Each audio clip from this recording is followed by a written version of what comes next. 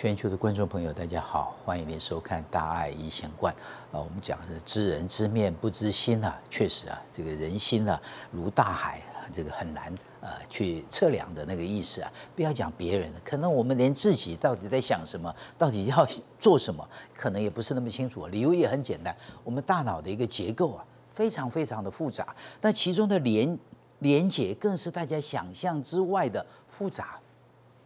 但我们比较知道，就是它大脑有分各个不同的区块，某些有它特定的功能，然后透过脊髓神经，透过脑神经跟我们的颜面跟四肢啊做这样的一个神经传导的一个互动啊，这是很重要。然后我们的一个呃这个神经元就是神经细胞，它的长相是非常特别的，它不是只是一颗一颗的这样的一个细胞的一个存在。你看它长得有这样子，然后这个有个地方往前。然后到达那个地方以后，又会去跟很多的神经元做连接，然后他自己本身这个地方也有很多的神经元传过来的一个东西啊，讯息啊，跟他做交换，所以这样的一个结果就让这个呃神经细胞长得跟我们其他细胞很不一样，意思就是它有一个细胞的一个主要的一个结构以外，它有突出，所以有突出的地方，它分成两个一个结构往。这个中间最主要的是轴突，那另外往旁边去的像树枝一样的，这叫树突啊，意思就是说它像呃树枝的分支啊非常多。那这个分支的情形多到多少？一个神经元大概有一百二十八个树突啊，这个每一个树突它又相对应有四十个接触点，就是说一个树枝出来以后有一百二十八个树枝，这个树枝里面又分成小树枝啊。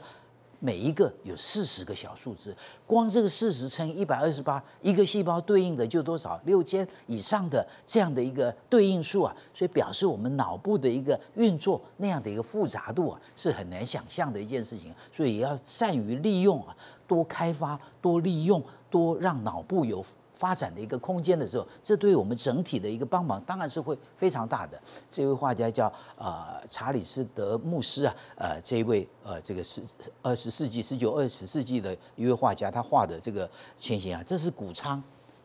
那这边是树树树，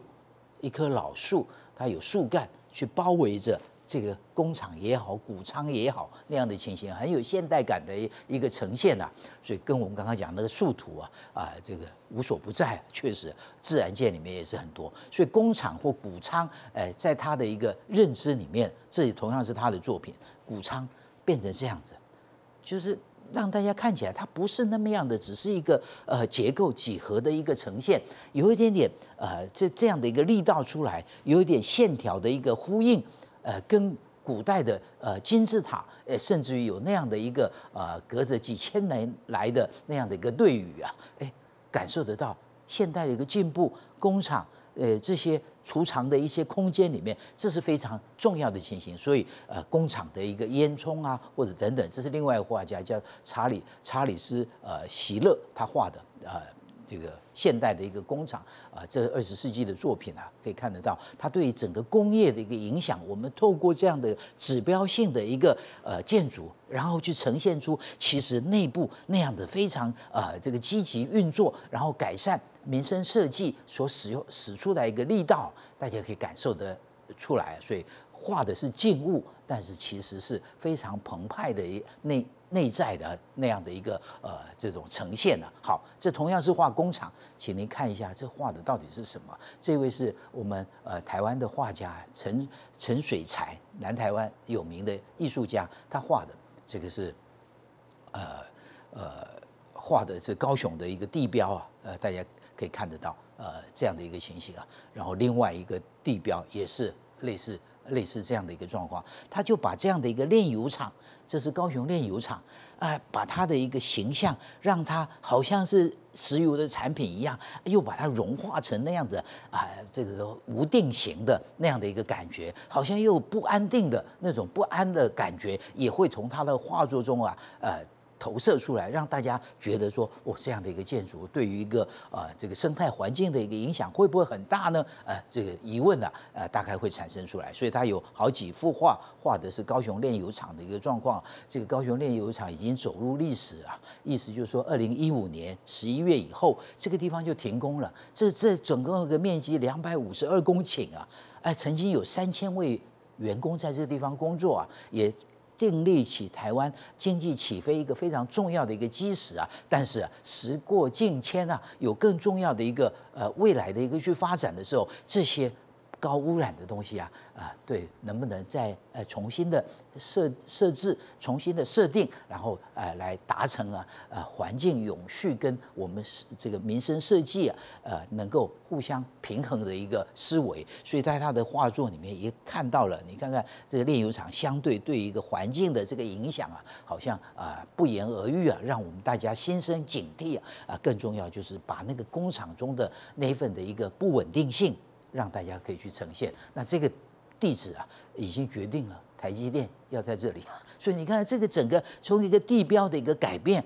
变成啊不一样的一个未来啊，这个充满着生命力啊。所以过去也许他用这样的方式来点醒我们该注意的事情啊，可是未来我们可以看到更呃有那样的一个呃机制在。对环境保护可能可以做得更好的一个状况之下，让台湾的一个经济发展也可以更往前的一个方向上所做的一个努力跟改变呢，点点滴滴啊，也是值得让人家去醒思、回顾，然后往前走的一个状况。好，不稳定啊，这个不稳定，刚刚很讲它的一个结构的一个不稳定啊，我们一个脊椎它的一个稳定性是非常重要的，脊椎会动的地方，它的一个。出了问题的结果，它自然就会产生出疼痛的一个问题出来。不会动的地方啊，不会动的地方，它相对就比较不容易产生出呃疼痛的这个问题出来。但是未必是这样子啊？为什么？因为嗯，随着年龄大，这个是一个六十几岁的一个女性病人，六十几岁而已啊。所以大家要知道。这个骨质疏松的一个问题所造成的一个影响，它产生的一个问题就是跌倒。当然，这个动画让大家印象比较深刻一点了。呃，虽然呃这个只是轻轻的一跌，但是跌倒的一个位置就可能造成手腕，因为它着力的关系啊，我们的大腿骨、我们的脊椎骨这几个地方就是很容易骨折的这个位置啊。所以加上这个病人本来就有这个呃。我们的骨质疏松的一个问题的结果，虽然才六十几岁啊，他就可能产生出严重的问题出来，就是背痛啊。这个背痛也因为他年龄只有六十几岁，他一开始也不以为意啊。可是痛了两个月左右的时间啊，这个疼痛造成越来越严重的一个状况之下，因为它局部的一个问题点，它可能影响到整个脊柱的稳定性，还有神经的呃这样的一个空间的一个狭小，会造成啊压迫。所以大家可以看到，在这个这样的一个位置啊，这个地方是第十二个呃胸椎的地方啊，骨折、粉碎、压迫性骨折，骨折以后压迫到背后的这个神经啊，所以表示那个结构上面它绝对不是哦非常呃宽的一个空间在那个地方，非常呃松的一个空间在那个地方，它都是紧紧的靠住，所以那个地方有一些什么样的一个影响以后，它自然会压迫到。底下的这个神经啊，我们可以看得到这个这个地方正常大小，所以因为他六十几岁，所以看到这个其实骨骼还是蛮不错的，这个地方就垮的蛮厉害的那样的一个状况啊，所以呃这个。放射科的医师、骨科的医师、神经外科的医师啊，他们就会找出透过这个透视，我们找出啊有问题的这个点，然后局部定位好以后，再放这样的一个管子进去啊，进去以后就会把那个骨水泥这个东西啊，啊把它加在这里面去，意思就是它骨质啊已经比较流失的很严重的状况之下，又再加上压迫性粉碎压缩压迫性的一个骨折的时候，我们增加这边的一个量。让这个地方的一个呃这个支撑力可以恢复的比较好的一个状况的时候，就能让这个局部这个地方啊，这个白色这一点就是我把它加进去补强的那样的一个位置啊。那这样的一个结果，整个的一个脊椎的稳定性好的结果，它自然疼痛的问题就会解决。所以这个个案告诉我们的警讯就是六十几岁都有骨质疏松啊，大家要注意。感谢收看。